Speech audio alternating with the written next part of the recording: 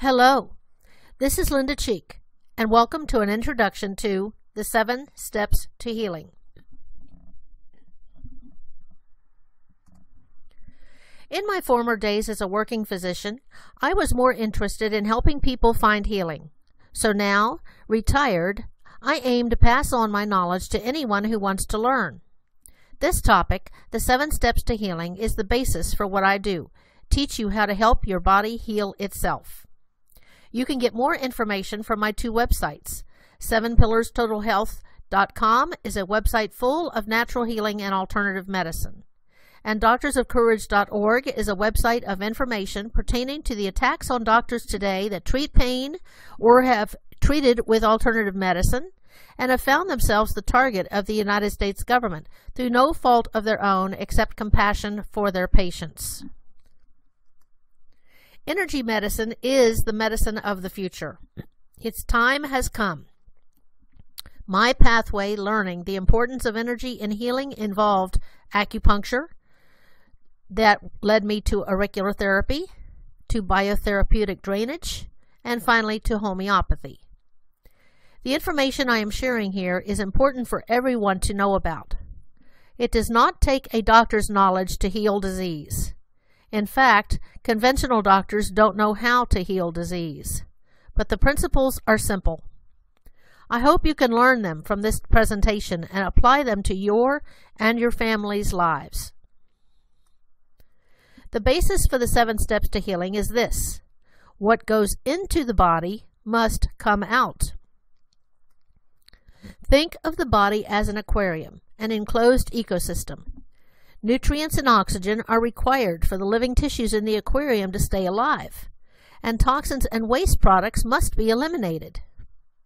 If they aren't, they will build up, poisoning the fish, eventually the plants, and the place looks like this, decaying sludge. In the body, that is called disease. Disease is caused from conditions within the environment of the body. When the environment is unhealthy, the body's organs break down and cannot function. Disease is the expression of that failure to function properly. Health can be described by this picture of a bridge. Optimal health is the center line. Suboptimal health falls in between the center line and the edge of the bridge. As long as you were on the bridge, though, you were unaware of any disease process. But the closer to the edge of the bridge you go, the more damage there is to the enzyme systems and natural defenses in the body, and the more toxins are accumulated in the body. Each person is at as a unique, a unique spot on the bridge, depending on their own body's environmental condition. Individualized medicine is the key to energy medicine. No two people are alike. What that means is you can't expect more than one person to be standing at any particular spot on the bridge. Each person is at a unique spot that's depending on his own body's environmental condition. Now, individualized medicine is the key to energy medicine. No two people are alike. So to expect everyone to react to a medicine the same way is obviously wrong. And yet all of our conventional medical proof tries to do just that. Disease is falling off the bridge, and the bungee cord that keeps you from just crashing your head against the rocks below is conventional medicine. However, the bungee cord just snaps the person back to the edge of the bridge and it doesn't take much of a push to go off of it again. Conventional medicine cannot move you back to the center line, but there is a medicine that can, and the seven steps to healing is one such path. So how do you know what causes the body to move to the edge of the bridge? Or, in other words, what is the main cause of disease today? The answer is toxicity. Disease is characterized by three processes. First, the excretion of toxins is blocked. The normal mechanisms that the body uses to destroy and remove toxins is temperature or fever and inflammation. Those natural processes have been taken away by conventional medicine. So step two is that the, the toxins are then deposited in the cells of the body. And finally, the cells and tissues are degenerated by the toxins. They cannot perform their function and disease is diagnosed. Now, in order for the excretion of toxins to be blocked, toxins first have to get into the body. Where do toxins come from? Well, there are two methods. First, autointoxication, which is poisoning from inside the body, and heterointoxication, which is poisoning from outside the body. Autointoxication comes from stress. Stress is a major cause of acidity in the body. Inadequate nutrition also increases acidity. It also prevents the formation of necessary enzymes for normal body processes and the elimination of toxins. And then the last cause of autointoxication is failure to excrete toxins. The body is designed to remove toxins from the blood as toxins take the place of nutrients and oxygen. So if they are not excreted, they get stored in the cells. Eventually, the stored toxins fill up the cells, preventing them from performing their necessary functions. Heterointoxication, or poisoning from outside the body, comes from pollution, including environmental pollution, but also chemicals in our food and water supply. Drugs and food additives. Other causes of toxicity are dysbiosis, an acidifying diet, the absence of qi, and autoimmune responses to toxins inside, on, or surrounding the cells. What is dysbiosis? It is the absence of the right bacteria that supports a healthy body and the presence of the wrong microorganisms. So what part do bacteria play in disease? Which is the problem? The landlord, which is the environment in the body, or the tenant, or microorganisms? Well, bacterias, viruses, and other parasites are merely opportunistic inhabitants in a diseased environment. They are not the cause of disease, but the result. The second cause of toxicity is an acidifying diet. An acidified body cannot eliminate toxins, so they are deposited into the cells. The body is acidified by the foods we eat, a diet made up of less fruits and vegetables and more processed foods and meats. And the third major cause of toxicity and disease is a loss of qi. Qi is the active principle forming part of any living thing. Qi literally translates as breath, air, or gas, and figuratively as vital energy or life force. One factor little considered in Western culture is the healthy base of qi. But qi is a vital part of health. Qi comes and goes out of the body. It is important to learn how to restore your qi. And finally, the autoimmune responses to toxins inside, on, or surrounding the cells cause disease. To explain the autoimmune response, think of the particles inside the cell as belonging to two categories, like the sides of a seesaw. Self on one side and non-self on the other. So we have self here on the left and non-self here on the right. When a healthy baby is born, the cells would contain only self.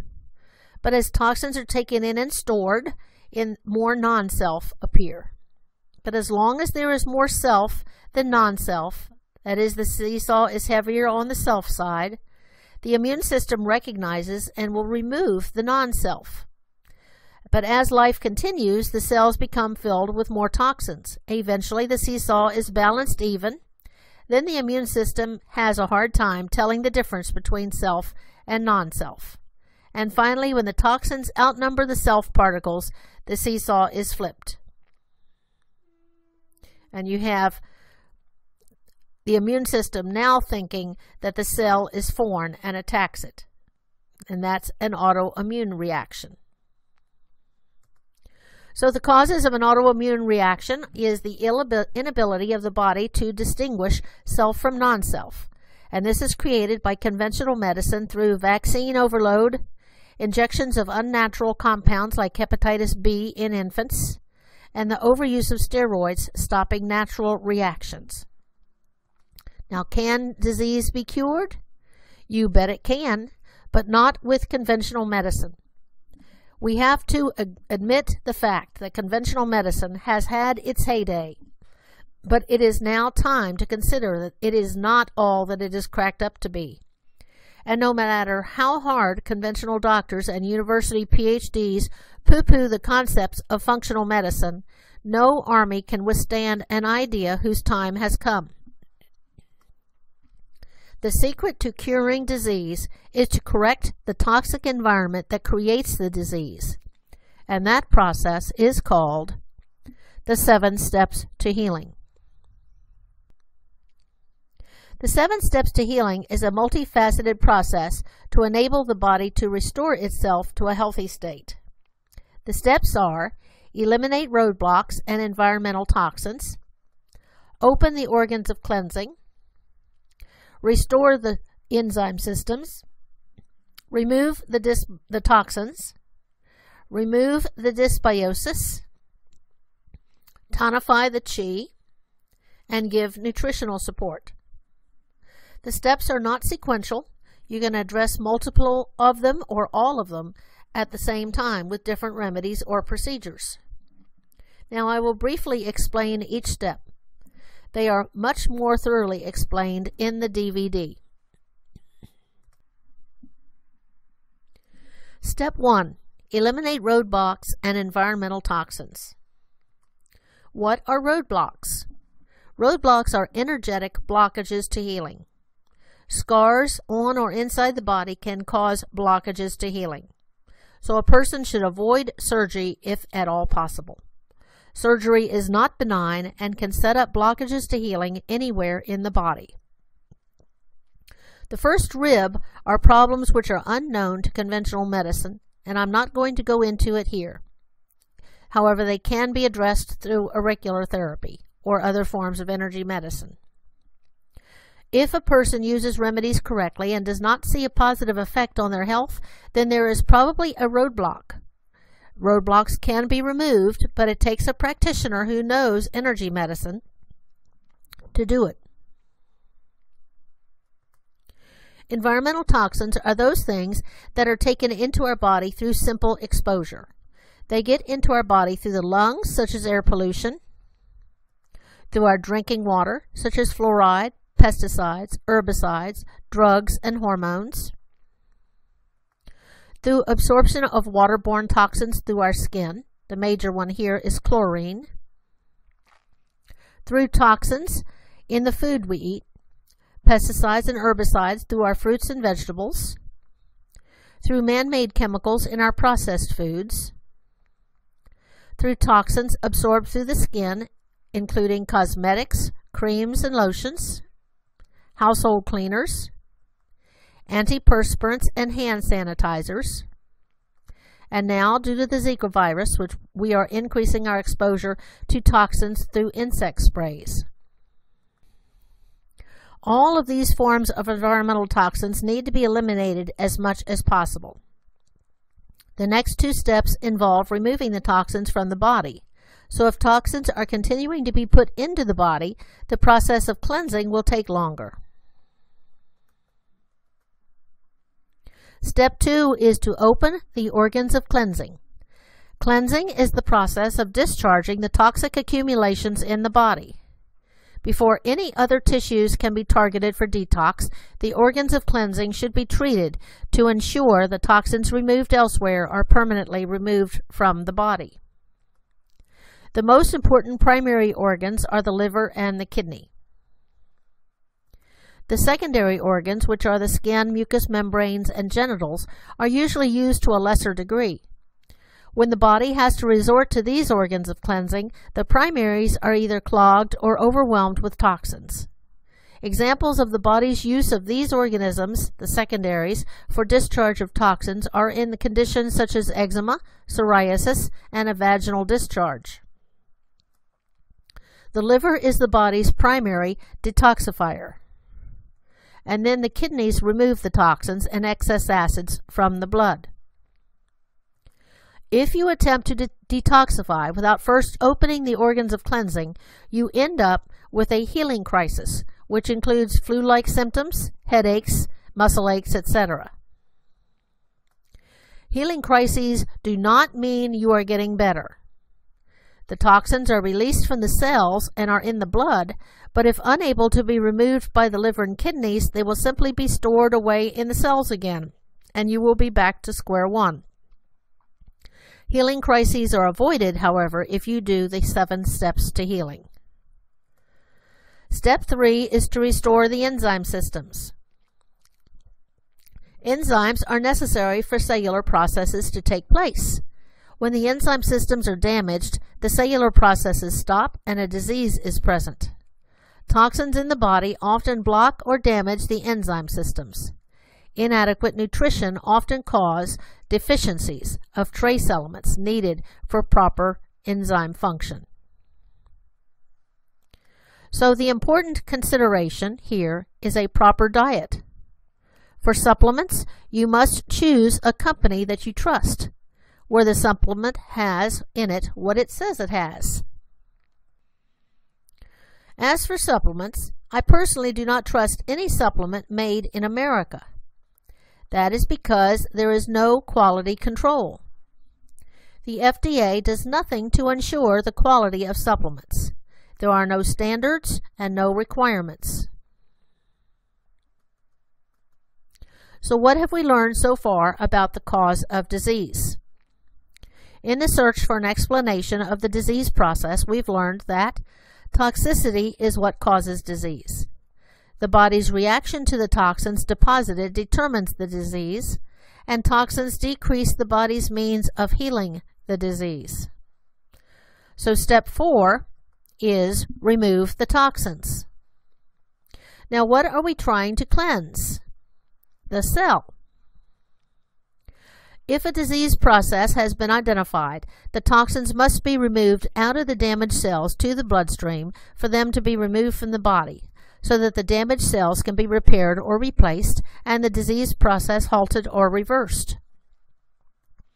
In conventional medicine, toxicity is not even a recognized problem. That is why chronic diseases have not been cured. But there is a science that does explain toxicity and can cure chronic disease and addiction, and that science is homeopathy. Now, we do not have the time here to explain homeopathy. There's a short explanation on the DVD for the seven steps to healing, and also the DVD for the real cause of drug abuse. And then I have a full DVD that explains only homeopathy. Now, reviewing the steps to healing so far, we have discussed eliminating the roadblocks to cleansing, opening the cleansing organs, restoring the enzyme systems, and removing the toxins. So now step five is to remove the dysbiosis. So again, what is dysbiosis? Dysbiosis is the absence of the proper bacterial flora that supply a healthy body and the presence in the body of the wrong bacterial flora and other microorganisms. Now on the DVD, I list the types of microorganisms and the diseases that are caused by dysbiosis, which are thereby curable by the seven steps to healing. Things ranging from simple allergies to fibromyalgia and cancer.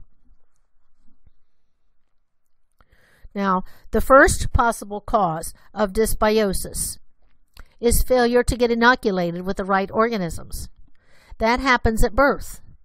First, if a baby is born by C-section, which is 25% of our population, they are born dysbiotic. That is because the good bacteria are picked up by the infant as it passes through the birth canal. Also, often the mother is too deficient in the correct organisms herself due to her use of antibiotics in the past, killing off the right organisms and then not being replaced.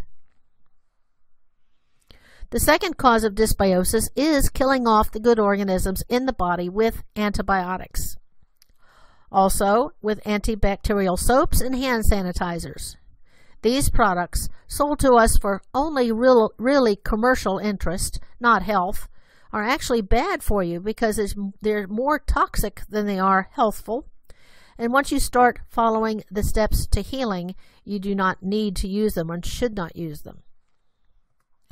The third cause is support of the wrong organisms with a high sugar, processed carb, yeast growing diet. Often dysbiosis is a cause of obesity and the person's ravenous hunger for processed carbs. If you get rid of the dysbiosis, weight loss becomes much easier. Now, the correct organisms are Lactobacillus acidophilus and Lactobacillus bifidus, and the best replacement preparation is HMF, which is a human strain of these organisms that colonizes the entire body. You can get HMF from my website. You might have a question about the probiotics in yogurt. First, probiotics in yogurt are from cows, not humans. So they are great for calves, but they don't colonize the human body. Also, the yogurt is high in sugar and all milk products are acidifying. More can be learned about the unhealthy nature of dairy in the Nutrition for Healing DVD. And what about other probiotics you can buy at the store? Well, probiotics are living organisms. So at room temperature, they will live out their lifespan and die. So probiotics sitting on the store shelf are dead when you purchase them. The probiotics at the health foods outlet stores that are in the refrigerator should be better, but they are still not human form. So they will have the same failure to colonize the body as those in yogurt. Now, the sixth step in the steps to healing is to tonify your chi. Remember, chi is the vital energy which makes up the universe. Chi permeates everything. It flows around and through the body, forming a cohesive and functioning unit.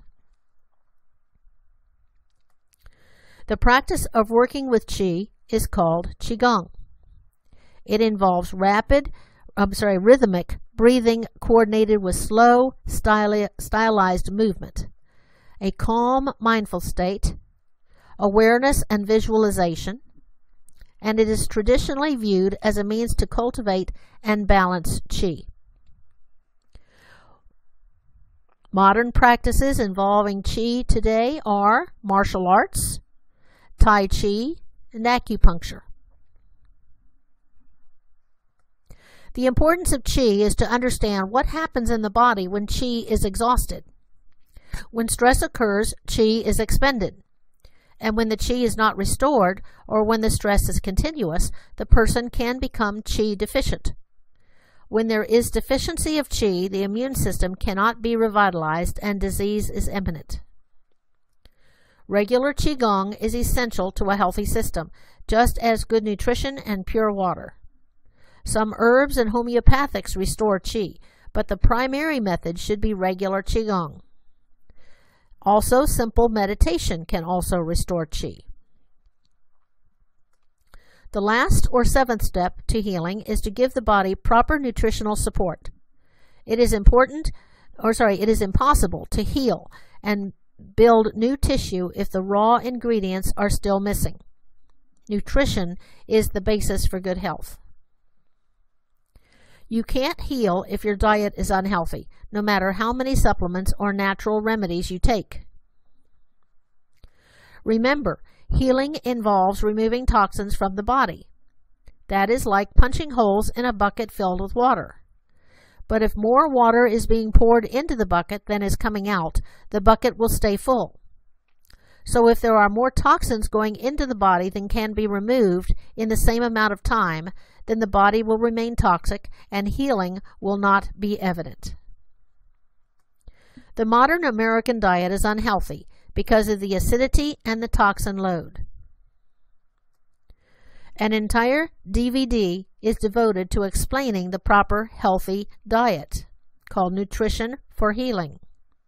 I would recommend you get it to help you in your journey of finding or maintaining optimum health.